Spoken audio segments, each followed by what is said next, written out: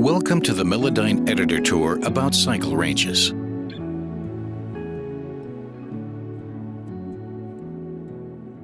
In this tour, you will learn how to perform cycling using Melodyne Editor, which means playing a selected passage in a loop. With Melodyne Editor plugin, you can only activate cycle mode when the host is stopped. If the host is running, any cycling is controlled by the host.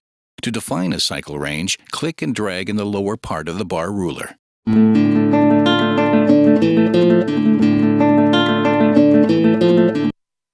If you hold down the Alt key at the same time, the time grid will be ignored, allowing you to position the start and end points freely.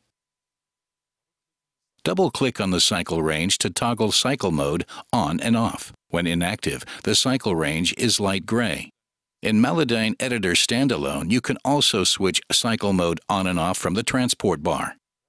Drag the right or left-hand borders of the cycle zone to alter its length. Holding down the Alt key allows you to position the start and end points freely because the time grid is ignored. Drag the middle of the cycle zone to move it on block to the left or right. Again, holding down the Alt key ignores the time grid. If you shift and click near either the cycle borders, it will move to the designated position. As you will have guessed by now, the Alt key ignores the time grid. To move the cycle locators to the beginning and end of the current blob selection, and thereby snapping them to the grid, hold the Shift key and double-click anywhere in the cycle zone. If you hold the Alt key as well as the Shift key as you do this, instead of snapping to the grid, the locators will be placed at the beginning of the first and end of the last blob in the selection.